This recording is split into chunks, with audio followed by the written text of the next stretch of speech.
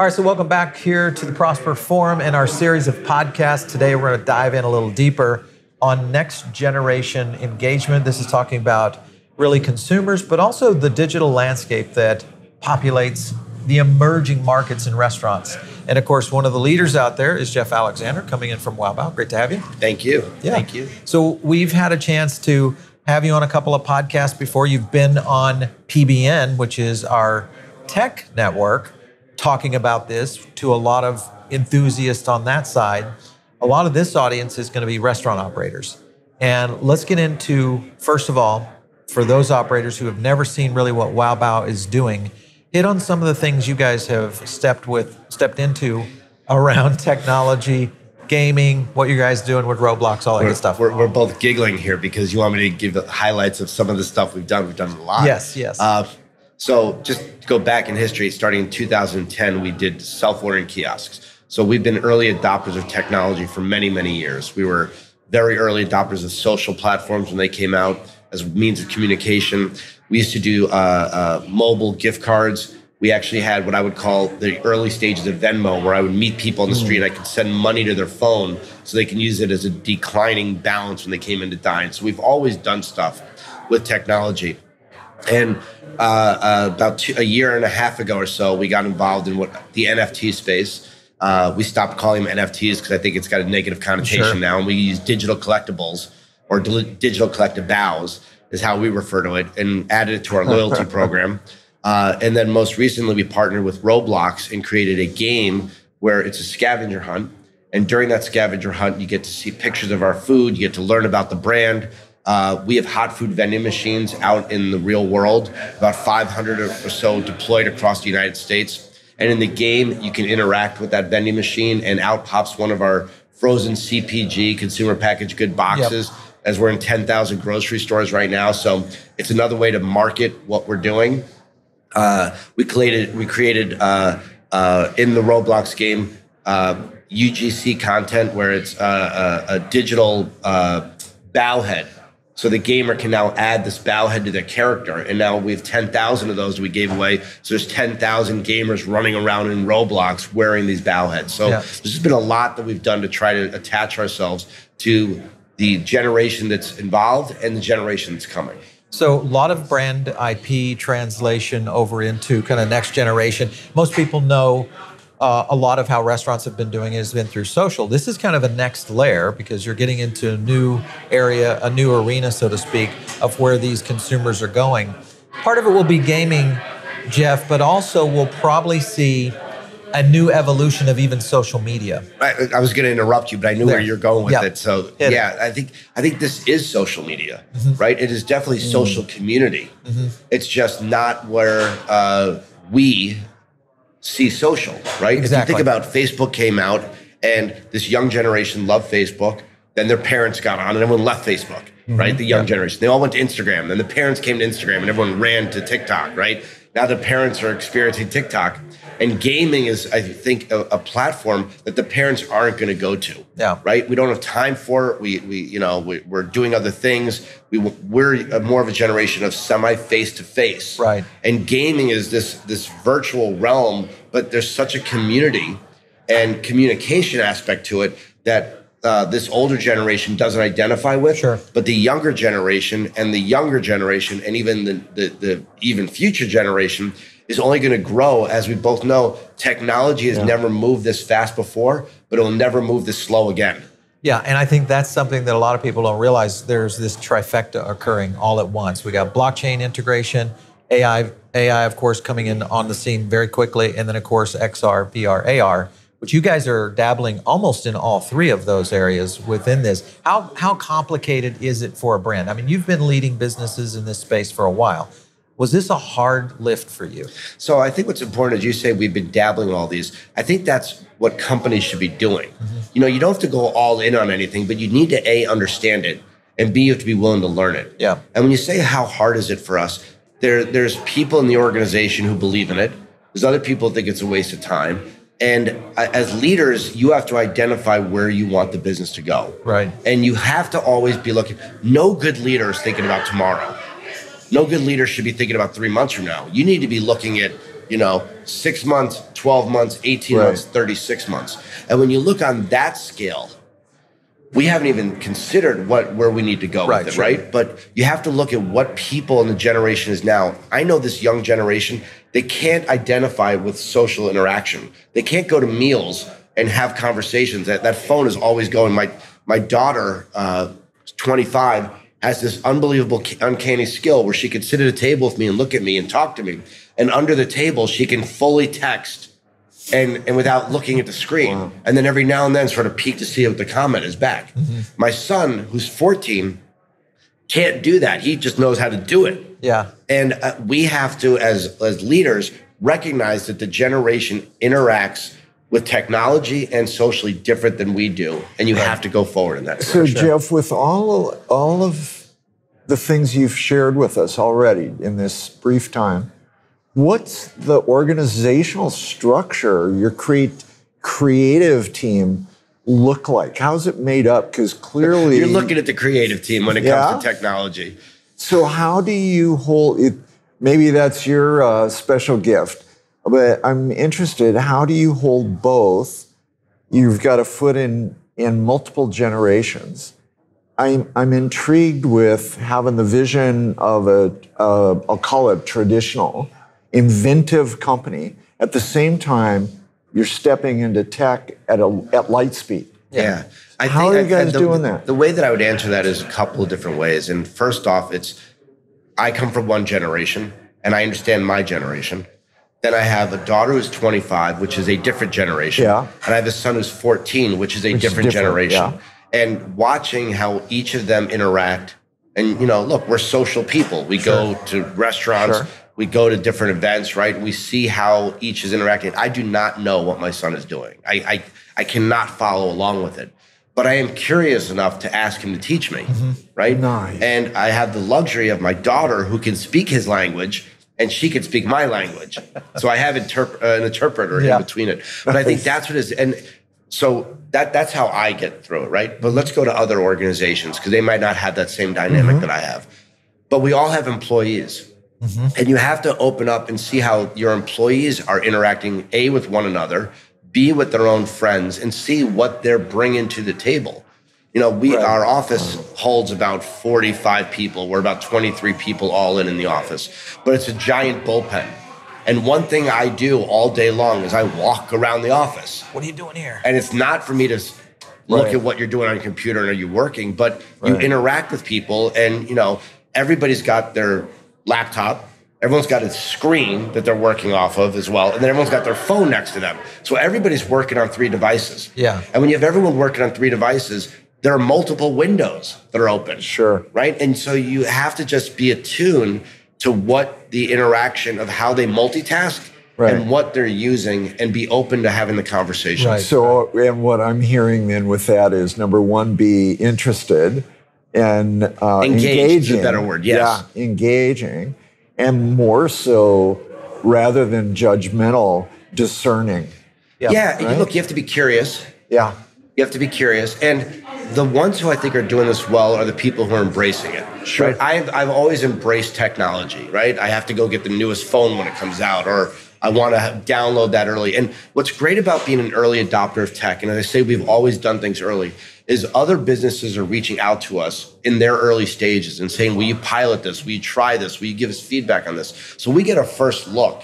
Nice. And I've talked to Paul in the past also about if you're an early adopter of something, the community that you're entering is more forgiving Yes. because they're so excited that you're there that they will deal with the friction or the glitch or whatever it may be, right? If if some technology's been out for you know 18 months and then you go play in that sandbox and it doesn't work, Yeah. people delete it. They move on, they find something that Yeah, works. go to But the if next you thing. go early, Yeah. Right. it's just a, a- it's a better experience for everybody Sure. and you can help write the narrative of those developers i needed to do this well Sure. ma- help me do this help me get that I love it.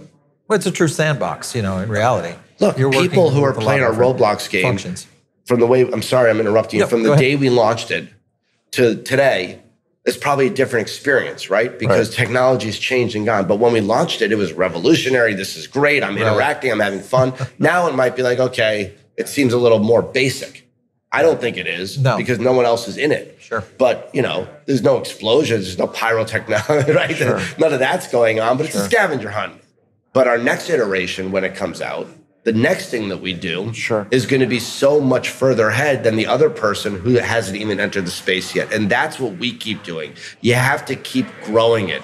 You have to keep investing in it. You can't do one thing and be done with it and say it's done. Right. You have to be willing to to to evolve it. Evolution is a huge part of innovation.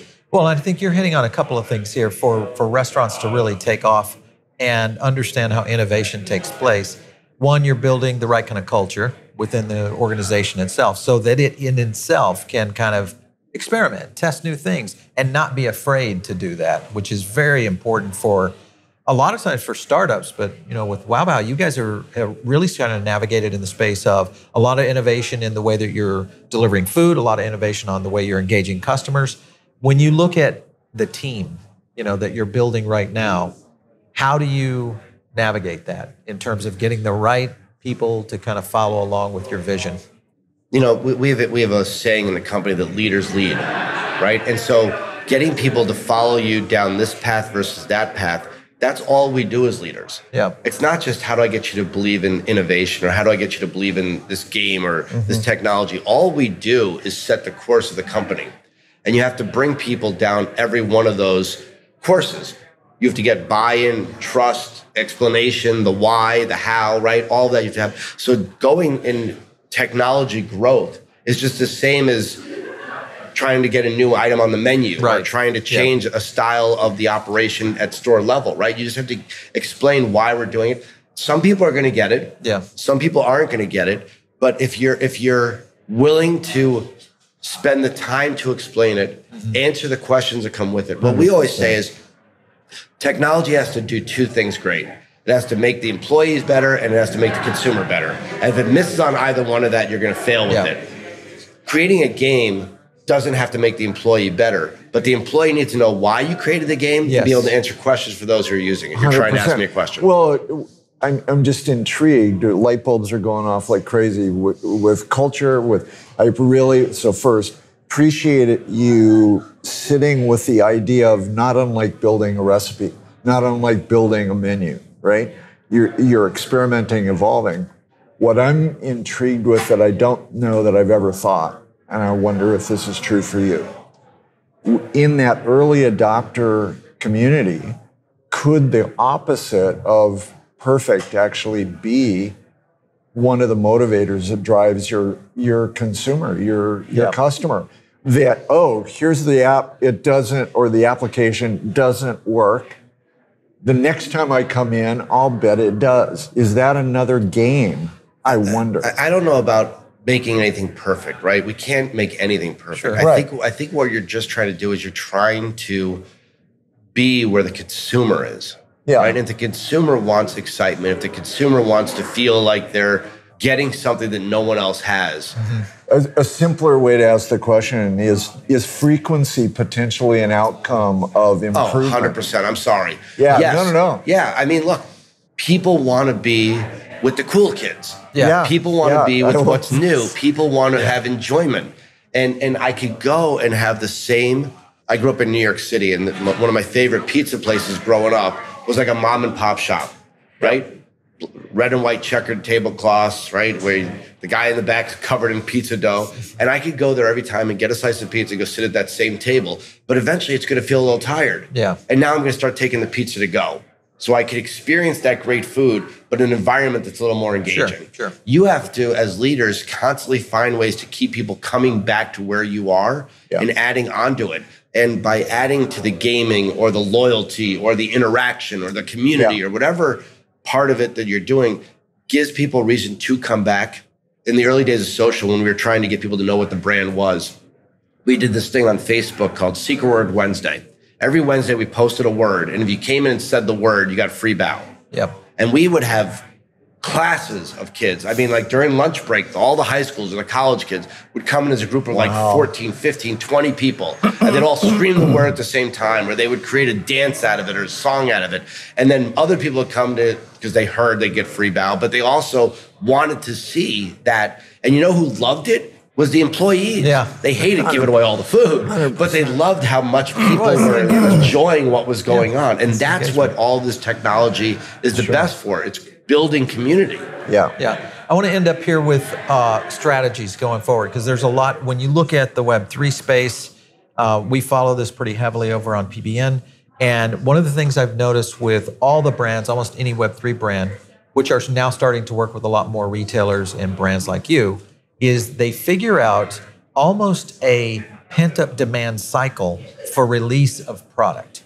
So with it, whether it's a game, it's something within a blockchain, something within an AR or VR device, they they figure out a way to essentially create almost a demand within their brand that now they're looking for the next iteration or that next little nugget of of components. You kind of alluded to that on what you guys are doing with Roblox.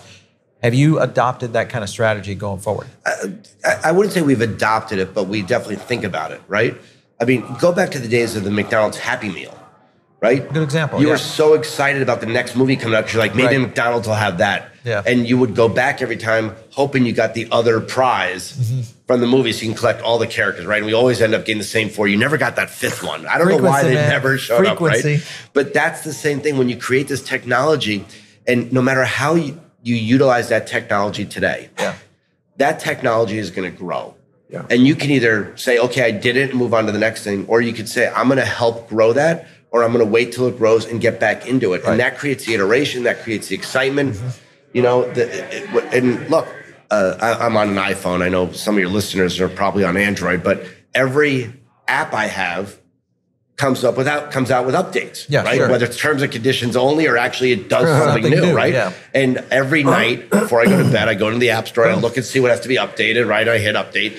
And when something actually has something new about it, You're playing with it. yeah, you're you're, you're searching through the app, you're you're using it. And it could be something as as an airline app of an airline you don't even fly anymore, but you want to see what changed in What the changed, app. yeah, I so love it. think about that when you have this ability now in your business to create Yeah. right? Even going back to the food, right? We're going to create a special this month. Mm-hmm. Well, now next month is Halloween, so we have to go pumpkin, right? And then we have to go something that has to do with turkey and Thanksgiving, right? We're always iterating, we're always innovating, we're always evolving. The same thing is with the technology. Well, and you're hitting on something that's very, very critical, and that is the deployment of this kind of stuff, whether it is into a gaming ecosystem like Roblox, whether it's into an app product, whether it's living on Android or iOS.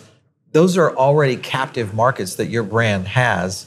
And the ability to deploy so quickly is almost instantaneous. You don't have to go out and create new marketing dollars, all that new layer of approach. Instead, that new feature you just unplugged, whether it was a menu item or something cool in the game, you just deployed to everybody. And not only that, you can add marketing into that game. Sure. Right? It doesn't to be like let's do a new iteration of a new a new level or a new task or a new reward. But inside that game, you can now add marketing uh, uh, liaisons to other things you're doing. Right, right? We're doing we have delivery only kitchens across the country. We have hot food vending machines. We have CPG in grocery store, right? We have brick and mortar. We have airports. We have college campuses. I can make it that in the game. I'm making this up. We don't do this right now, but I in the scavenger hunt we have three different rooms. Okay. I could add on a fourth room that looks like an airport, and then a fifth room that looks like a college campus. And then when we launch in a sports stadium, I can add that. And Yeah. it's all messaging about all the ways you could be interacting with Yeah. us. That's subliminal or it's real. Yes. Right. And that I think is such a component that people are going to want to be part of that and learn more. We we put pictures of our food all over the game, right? We we we won an award for uh, uh, brand of the year, Yep. right? When you enter the game, you're standing on the on the award, so everyone who visits us know that we were named brand of the year. I mean, it's just That's so an extension ways. of IP. Yeah. Yeah. All your all your brand IP now. And it doesn't cost on. us yes, anything. exactly. Yeah. Right. You just go into the game and just add a photo, Yeah, yeah, or add a beautiful. message, or add an interaction. I love it. I love it. Listen, we could go on for hours, I think. but what happens here on a podcast like this that you guys are watching or maybe listening to is we do a lot of these. Geoff will be back on the show. We're going to do an extensive coverage because what's happening in the restaurant space, especially around innovation, this is a new generation. It's also a new era of innovation. So make sure and stick around. Geoff, thank you so much for uh, stopping in today. We I appreciate you having me, and I'm excited to share whatever comes next. It's gonna be fun. and hear what you're going to report on next. Make Thank sure you. to stay tuned right here on the podcast network. by Savor.fm. We'll see you There you soon. go.